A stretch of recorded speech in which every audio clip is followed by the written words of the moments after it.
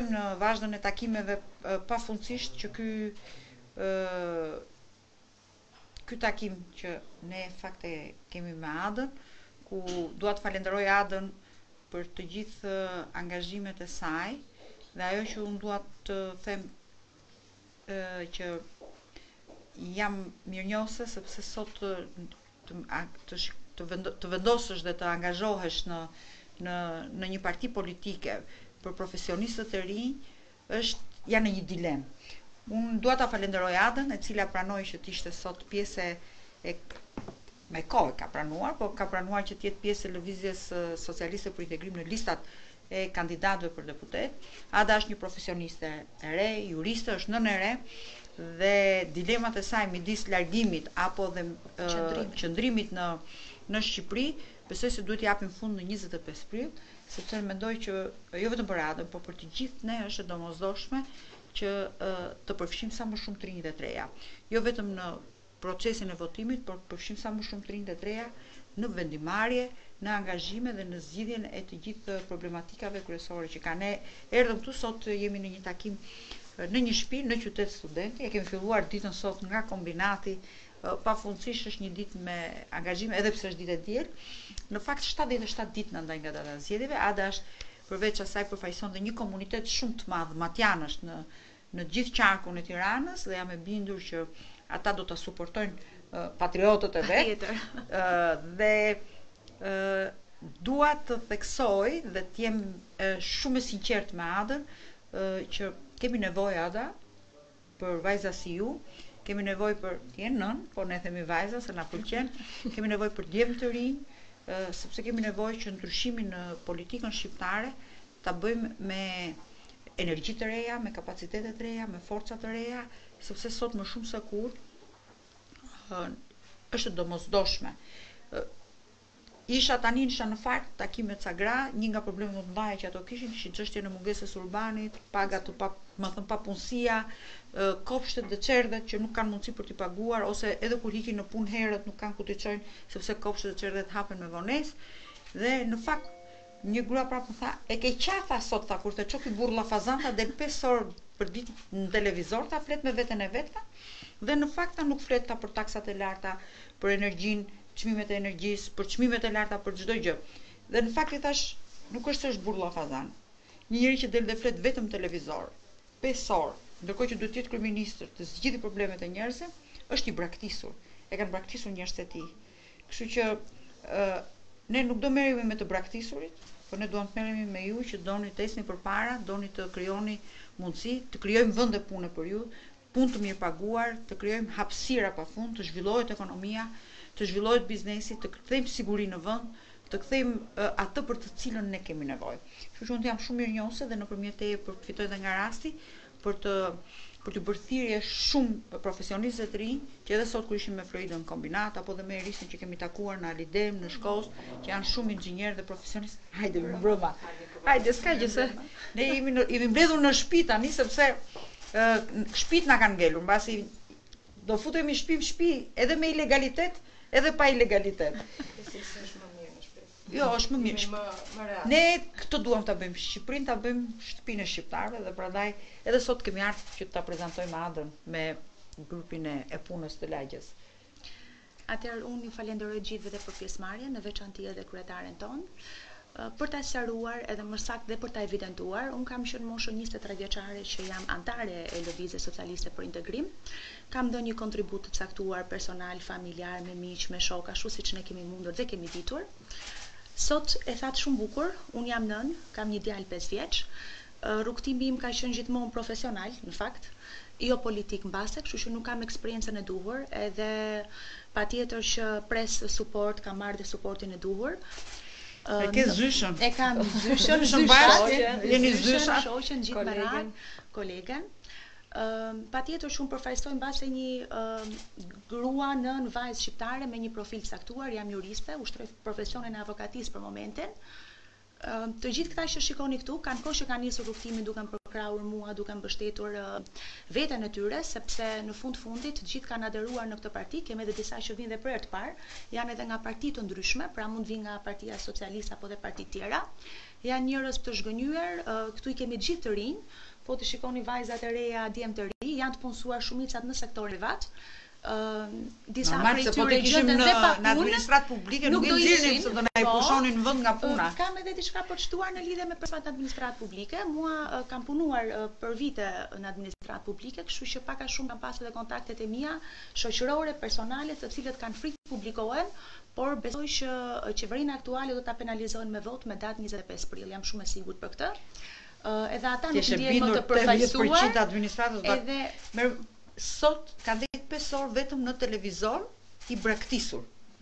I braktisur pesë orë vetëm, një njeri që flet me veten e vet pesë orë, në vend që të merret me pandeminë, në vend që të merret si të krijojë vende pune, në vend që të thotë, ore, ore si të krijojë mundësi për nënat e reja, për kopshtet, për çerdhet. Pra, nuk mendon si të zgjidhi hallet dhe problemet, po mendon si të merret me llafe, si të merret me thashetheme, të mashtrojë, të gënjejë. Tani kjo historia e e batutave i ka dalë jashtë mode, nuk e tërheq më njeri se njerëzit duan bukë, duan punë, duan taksa të ulëta, duan zhvillim. Tani vazhdon, gënjen, rrëmon, gjen, kërkon, sajon, etj.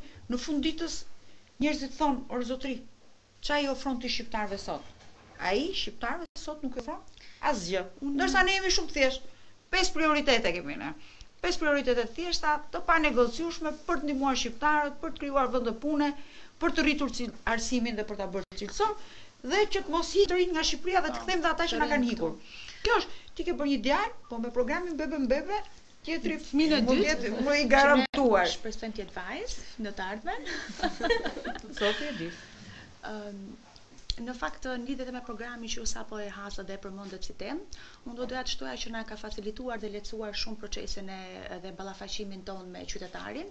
Është bërë shumë e thjeshtë për ne, është një program shumë cilësor, prek të gjitha nevojat më bazike të të gjithë qytetarëve shqiptarë. Unë mendoj që Shqipëria përveç se slogani nuk është e varfër por është e vjedhur, unë mendoj që ne jemi të skllavëruar, kështu që ka ardhur momenti që gjithë ne së bashku, unë, bashkëmoshatarët e mia, rinia shqiptare, mbase ato një brez pak më të lartë, të vazhdojnë edhe t'i japin forcat, të kenë kurajon edhe të ndjejnë, domethënë të marrin pjesë në vendimmarrje dhe në përfaqësim. Është shumë e nevojshme që ne të angazhohemi.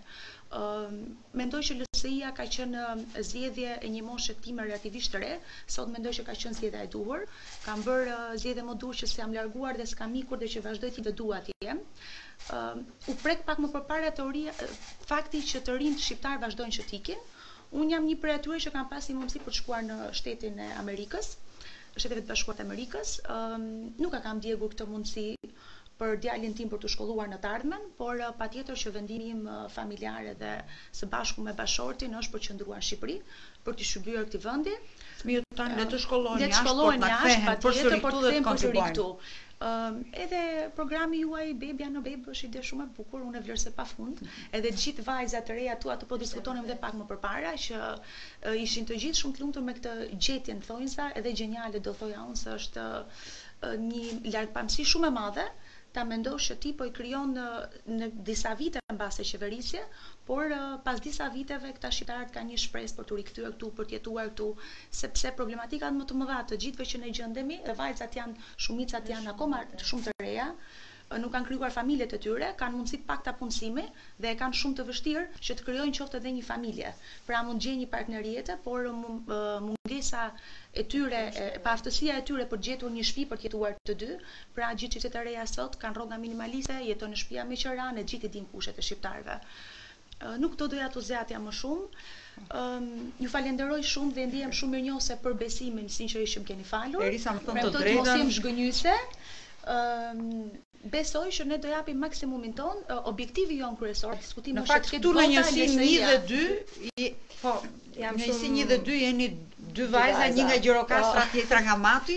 Unë jeni të dyja luftëtare. Kryetare jam shumë e lumtur që prezantojm Adën sot, edhe Jam, kur jam deleguar para dy vjetësh në Njësinë Bashkiake numër dy, ka qenë një nga vajzat e para që unë kam takuar edhe që bashkë kemi suportuar gjithë organizimin e Njësisë dy dhe është një nga ato modele që LSI-ja i ka ofruar gjithmonë shoqërisë, shansin, mundësinë për vajzat për t'u promovuar profesioniste të reja mbi të gjitha sepse ne i ofrojmë politikës njerëz me kapacitete njerëz të cilët vijnë nga një profesion shumë i nderuar si juriste kolege si një nënë e përkushtuar dhe mendoj që Ada sjell një model të ri të politikës duke ardhur nga nga profesionistët, nga njerëz të cilët dinë shumë mirë shqetësimet, mungesën e shtetit ligjor, problematikat në gjykata, aq domosdoshmërinë për të pasur një sistem drejtësie të pavarur, i cili padyshim që do të sjellë shumë më shumë investime të huaja, do krijojë shumë më shumë hapësira dhe drejtësi për për qytetarët dhe besoj që kauza që ajo do mbrojë për drejtësi për barazi para ligjit e cila ajo është formuar dhe dhe për cilën ajo advokon besoj që do jetë një vlerë e shtuar për politikën shqiptare ne do jemi krah njëra-tjetrës për të bërë një fushatë derë më derë dhe për të treguar që në fakt kemi përballë një kryeministër dhe një qeveri e cila duhet të japi llogari edhe duhet të japi llogari për mosmbajtjen e premtimeve, për keqmenaxhimin e pandemisë, ndërkohë që qasja e kësaj qeverie është që me batuta, me slogane, të cilat nuk i shërbejnë askujt, ndërkohë që ne jemi forcë politike e cila ofron një program serioz dhe besoj që kjo fushatë duhet të sjellë një standard të ri të politikës shqiptare. Qytetarët duan të diskutojnë për politika publike, për se si do të mund të rrisim ekonominë, si mund do të rikthejmë shpresën, si do të ulim taksat e të gjitha me radhë. Që kështu modeli që ne përfaqësojmë mendoj që është modeli i i rinisë e cila do të integrohet nesër në Bashkimin Europian. Faleminderit shumë. Faleminderit dhe ty. Nëse ne ishim ishte interesante dhe besoj se tani do ta vazhdojmë edhe me stafin e e Adës për ta zgjeruar dhe më shumë, jo vetëm në zonën e qytetit të studentit, por në gjithë njësinë dy.